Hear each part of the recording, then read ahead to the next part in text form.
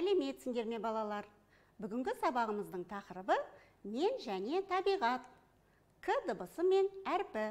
Бүгінгі сабақта заттың атын білдіретін сөздерді ажыратып қолданасыңдар. Дыбысты танисыңдар және оны әріппен таңбалайсыңдар. К әріпін көркем жазуды үйренесіңдер. Балалар суретте нелер бейнеленген? Дұрыс айтасыңдар. Суретте көбелектер бейнеленген. Өздерің байқағандай көбелектің түстері әртүрлі болады екен. Мен сендерге көбелек жайлы өлең оқып берейін. Ақ қанатты көбелек көк қанатты көбелек қызыл қанат көбелек бақшамызға қона кет. Балалар өлеңде көбелектің қандай түстері туралы айтылған? Дұрыс айтасыңдар. Ақ көк және қызыл көбелектер жайлы айтылыпты. Көбелек сөзін буынға бөлейік. Неше буын бар? Көбелек. Дұрыс. Көбелек сөзінде үш буын бар. Балалар көбелек сөзі қандай дыбыстан басталып тұр? Дұрыс айтасыңдар.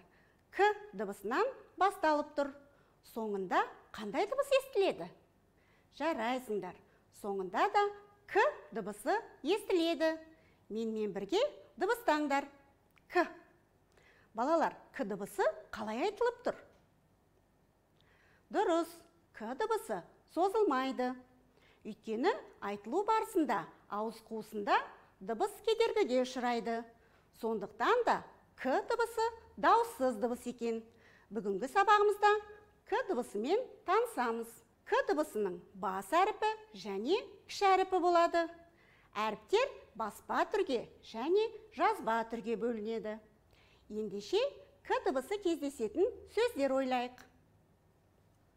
Кілт кеме ешкі түлкі терек күшік. Балалар осы сөздерде к дыбысы сөздің қай жерінде естілді? Дұрыс айтасыңдар. Кілт кеме сөздерінде к дыбысы сөздің басында естілді. Ешкі түлкі сөздерінде к дыбысы сөздің ортасында естілді. Терек сөзінде к дыбысы сөздің соңында естілді. Ал күшік сөзінде к дыбысы сөздің басында және соңында естілді. К дыбысы сөздің барлық буынында кездеседі екен. Суретте не бейнеленген бұл қандай құс? Дұрыс айтасыңдар бұл кептер. Ал мына құстың қандай құс екенін білесіңдер ме? Мен сендерге көмектесейін. Балалар бұл құс көкек көкек деп дыбыстайды. Ендеше ойланамыз. Дұрыс таптыңдар балалар. Бұл құстың аты көкек. Келесі құсты танисыңдар ма? Иә балалар бұл құстың аты үйрек. Ендеше құстардың атына дыбыстық талдау жасаймыз. Кептер сөзінде неше буын бар? Дұрыс айтасыңдар. Кептер екі буын бар. Барлығы неше дыбыс неше әріп бар? Дұрыс. Алты дыбыс алты әріп бар. Екеуі дауысты төртеуі дауыссыз. Көкек сөзін буынға бөлеміз. Көкек. Дұрыс екі буын бар. Көкек сөзінде барлығы неше дыбыс неше әріп бар? Дұрыс бес дыбыс бес әріп бар. Екеуі дауысты үшеуі дауыссыз. Үйрек сөзін буынға бөлеміз. Үйрек дұрыс екі буын бар. Барлығы неше дыбыс неше әріп бар? Дұрыс. Бес дыбыс бес әріп бар. Екеуі дауысты үшеуі дауыссыз. Балалар құстар зиянды жәндіктермен қоректенеді. Сөйтіп табиғатымызға көп пайдасын тигізеді. Сендер де құстарға қамқор болып жүруді ұмытпаңдар. К әрпіне берілген жаңа сөздермен танысамыз. Алдымен буындап оқимыз соңынан тұтастай оқимыз. Кісі кісі кіші кіші кеме кеме кесе кесе. Терек терек. Шелек шелек кеше кеше. Кесте кесте. Ерлік ерлік. Мереке. Мереке. Балалар мереке сөзі бас әріппен жазылыпты. Неліктен деп ойлайсыңдар? Дұрыс. Өйткені мереке адамның аты. Оқуды жалғастырамыз. Ескі ескі. Ешкі ешкі. Елік елік. Етік. Етік. Кім? Ешкім. Ешкім. Кілт. Кесіртке кесіртке текемет текемет керемет керемет балалар оқулықтарында берілген осы сөздерді қайталап оқуды ұмытпаңдар. Сендер текеметтің не екенін білесіңдер ме? Ендеше назар аударыңдар.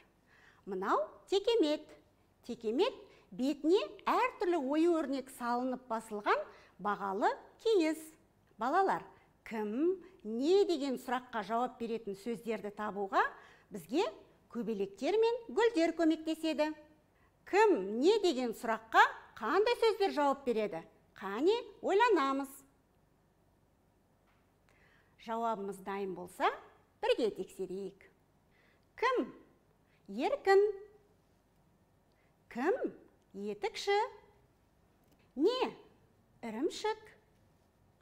Не кілт кім кісі не ешкі балалар сендердің де жауаптарың осындай деп ойлаймын суретке анықтап қараңдаршы тағы не байқауға болады көбелектер қандай гүлдерге барып қонды дұрыс айтасыңдар көбелектер өзінің түсіне ұқсайтын гүлдерге қонды бұл нені білдіреді көбелектер басқалардан қорғану үшін өзі түстес гүлдерге барып жасырынады екен.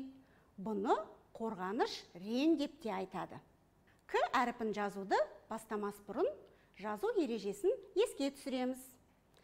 Жазу жазғанда түзу отырыңдар дәптерді көлбеу қойыңдар қаламды дұрыс ұстаңдар. Бейнематериалды көріп отырып к әріпін жазуды бірге үйренейік. К әріпін жазып үйренейік. Үлкен жолдың ортасынан сәл төмен қаламыңды қой. Солдан оңға қарай жол ортасына дейін көтеріп қысқа сызық сызамыз да тік төмен түзу түсіреміз. Астыңғы сызыққа жете бере алдыңғы сызыққа тигізе солға қарай доға жасап сызықты оңға тартып көлбеу сызықты үстіңгі жолда қия жоғары көтереміз.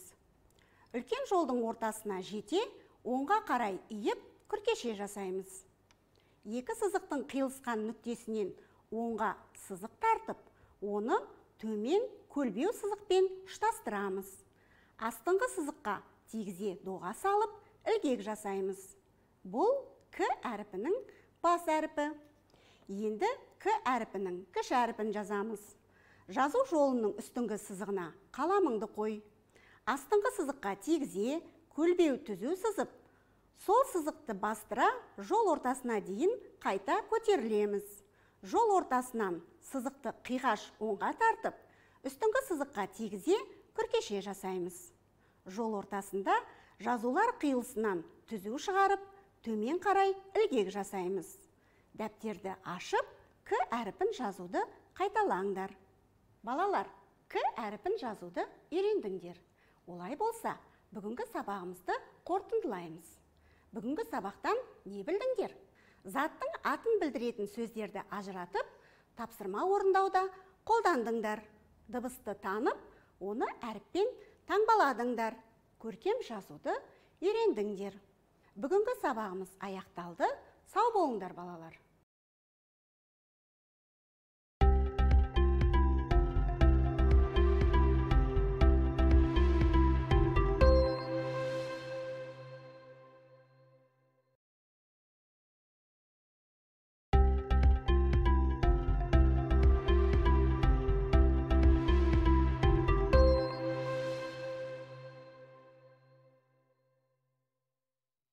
Сәлеметсіңдер ме оқушылар. Сабағымызды бастаймыз. Бүгінгі сабағымыздың тақырыбы сандар және заңдылықтар. Екі екіден сана. Бүгінгі сабақта екі екіден санауды үйренесіңдер. Балалар экрандағы суретке назар аударайық. Суретте не көріп тұрсыңдар? Иә шұлықтар мен аяқ киімдерді көріп тұрмыз. Шұлықтар мен аяқ киімдер жұппен беріледі. Демек екі екіден. Балалар заттарды тез санау үшін жұппен яғни екі екіден санауға болады. Екі екіден санаңдар. Барлық қатысушылар саны қанша? Сайысқа неше биші жұп қатысты? Қанеки балалар? Барлық қатысушылардың санын бірге санап шығайықшы. Бір екі үш төрт бес алты жеті сегіз тоғыз он он бір он екі он үш он төрт. Жарайсыңдар. Демек қатысушылардың саны 14 екен. Ал енді неше жұп биші қатысқанын санап көрейік. Бір жұп екі жұп үш жұп төрт жұп бес жұп алты жұп жеті жұп. Демек сайысқа балалар жеті жұп биші қатысқан екен. Жарайсыңдар. Балалар келесі тапсырмаға назар аударамыз. Барлығы неше дөңгелек? Барлық велосипед дөңгелектерін қалай тез санауға болады? Балалар велосипедте неше дөңгелек бар? Дұрыс айтасыңдар екі дөңгелектен. Демек біз екі екіден санаймыз.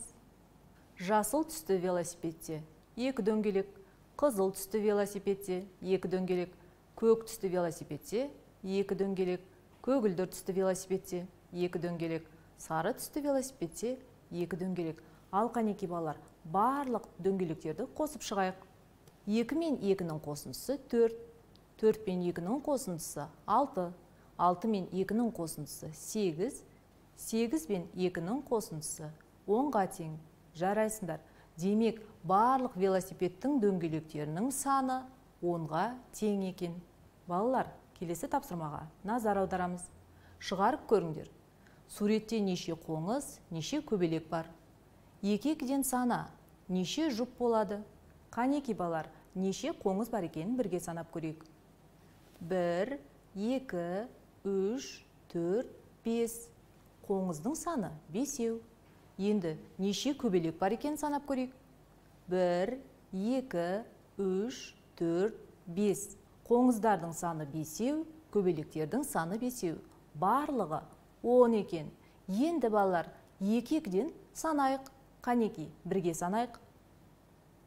Бір жұп екі жұп үш жұп төрт жұп бес жұп жарайсыңдар балалар неше жұп екен бес жұп екен балалар келесі тапсырмаға назар аударыңдар ойланыңдар аяқ киімдеріне қарап қанша баланың суға түсуге келгенін санаңдар қанеки балалар балалардың аяқ киімдерінің жұбын тауып бірге санайық бір жұп екі жұп аяқ киім үш жұп төрт жұп бес жұп алты жұп яғни балалар алты жұп аяқ киім бар екен. Демек суға түсуге алты бала келген екен.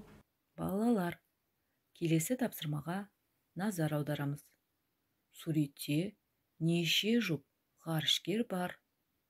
Ғарышкерлер жұбы қанша адамды құрайды?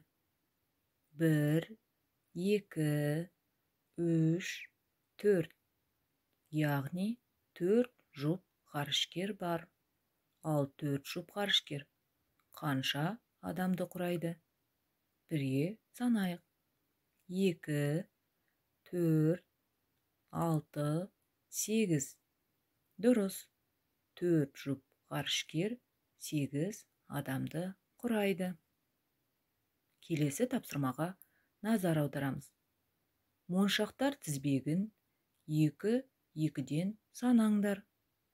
Екі төрт алты сегіз он он екі. Он екі моншақ бар екен. Ал енді неше жұп моншақ болғанын санаймыз. Бір екі үш төрт бес алты. Алты жұп моншақ бар екен. Жарайсыңдар.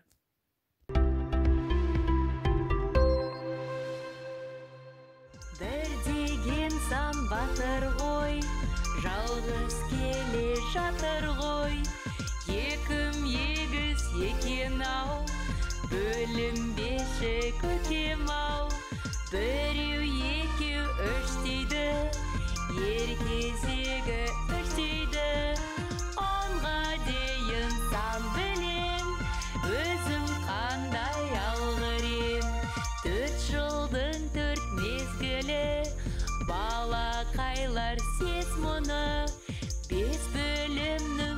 бағасы қолымның бес саласы алтын менің алталаш қазағымның баласы онға дейін сан білем өзім қандай алғыр ем жетім жеті қазынам жеті атамнан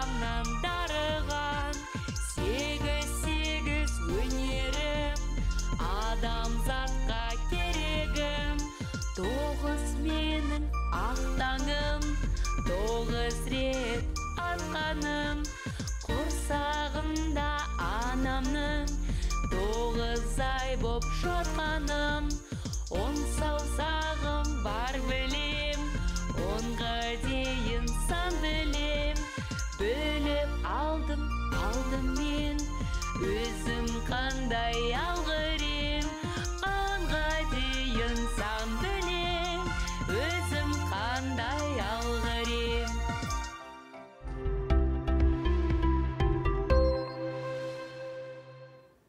балалар. Келесі тапсырмаға назар аударамыз. Мұқият тыңдаймыз. Күшіктердің қайсысы қай үйшікте тұратынын табыңдар. Егер нөмірі үшінші үйшікте қоңыр күшік тұрса оның сол жағында сары күшік ал оң жағында сұр күшік тұрады. Қанеки балалар күшіктердің қай үйшікте тұратынын табайық. Ойлануға 5 секунд уақыт беремін.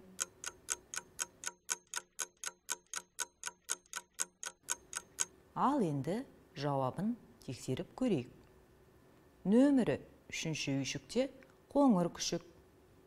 Оның сол жағында нөмірі екінші үйшікте сары күшік. Ал оң жағында нөмірі төртінші үйшікте сұр күшік тұрады. Жарайсыңдар балалар. Келесі логикалық тапсырмаға назар аударамыз. Артығын табыңдар. Балалар суретке мұқият қарап ойланамыз. Қай сурет артық? Қанеки ойланып көріңдер. Сендерге ойлануға уақыт беремін. Ал енді жауабын тексерейік. Суретте не артық екен? Дұрыс. Ара артық. Себебі басқа үш суретте өсімдіктер бейнеленген. Ал ара жәндік. Жарайсыңдар. Ал келесі суретте не артық екенін табамыз. Ойлануға 5 секунд уақыт беремін.